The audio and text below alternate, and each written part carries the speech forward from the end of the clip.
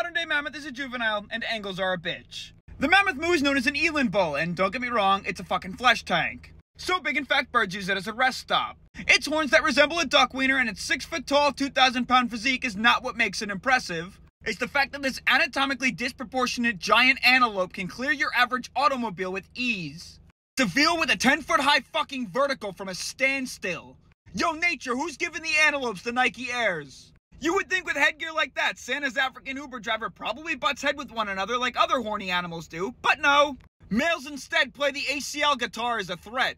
Yeah, they got fat knee tendons that they use to slip over bone and just start clicking at each other. This dual-wielding unicorn was gifted a biological set of spears and instead he just plays the ACL guitar. And they do share a home with Mufasa and Simba, and you'd imagine due to their size they put up a better fight, but not much. Here's one next to a full-grown daily Dumbo. It's the only photo I could find, but you can see they're not as big as the video makes it seem.